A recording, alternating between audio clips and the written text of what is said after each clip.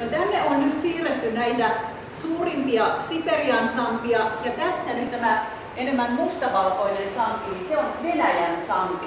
Вот. Tämän Venäjän sammen maapalainen ammattikalastaja sai kesällä 2008 ja silloin se oli